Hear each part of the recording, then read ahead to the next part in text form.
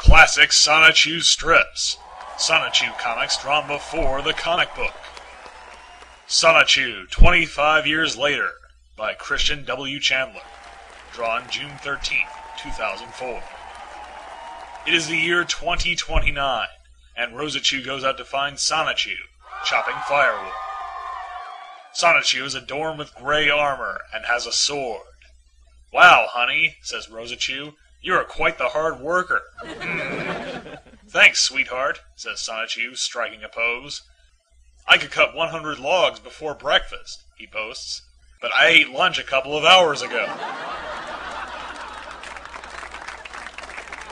Sonichu by Christian W. Chandler. Drawn January 3rd, 2004. Hey, Rosie, says Sonichu, what's new? Well, Sonichu, I've been living my life and being beautiful, says Rosachu. But seriously, I wish I didn't have to work so hard. I'm tired of it. But being with you, a great friend, makes me feel much better. Me too, Rosachu, says Sonichu. Anyway, says Rosachu, I'm... Behind them, Black Sonichu looks at the couple from behind a rock. A storm cloud appears over his head, indicating he is in a bad mood. And that's how I've been, says Rosachu. I understand your feelings, Rosie, Sonichu says. He hands her a package. Here, happy Valentine's Day. Aw, you're so sweet, says Rosachu. She looks back in surprise. What? Sonichu asks. Black Sonichu, quit following us around, Rosachu says. Black Sonichu emerges from his hiding place, clearly displeased. Sonichu by Christian W. Chandler. Drawn May 8, 2004. Sonichu, says Chris Chan Sonichu, Natesurk has my mom. We have to save her.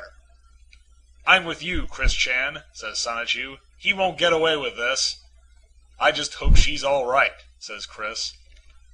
Ha ha ha, laughs Natesurk. When those hedgehogs learn of your capture, they will run into my trap. Behind him, Chris's mother stands helplessly in a cage. Suddenly, from behind the door to Natesurk's lair, Chris and Sonichu come crashing in. Natesurk, warns Chris, release my mom or we will give you the shock of your life. Yeah, says Sonichu. Take one step closer and I'll press this button, threatens Natesurk, which will make your mother's cell explode. You don't want to do that, do you? Ha! Step, huh? asks Chris.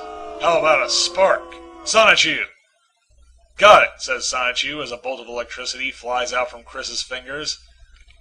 Oh no, says Natesurk.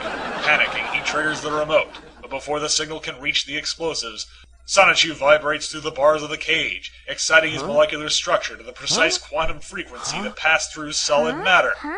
Lifting Chris's mother in his arms, he escapes the cage the same way, emerging nanoseconds before the explosion engulfs the sinister menagerie. With his mother secure, Chris beats Nate Natesurk into submission with a tire iron, then reverts back to his human form. Are you alright, Mom? Chris asks, as he and his mother reunite over the bloody, broken body of Nate Natesurk. I am now, thanks to you and your son, says Mrs. Chandler. Happy Mother's Day, says Sonichu.